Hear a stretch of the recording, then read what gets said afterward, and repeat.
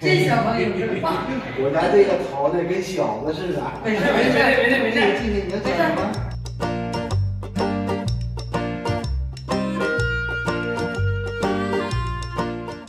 小孩子小嘛，他不到这个四周岁，孩子太小了，总在屋里跑跑闹闹的，然后然后影响下面的邻居了，去赔礼道个歉，因为怕影响人的正常生活。有一家三口，这个要拿点小礼物啊，很很惊讶嘛，就是都无所谓，意思有小孩子也也是很理解，但是理解归理解，咱们孩子本身就是做的不是很好。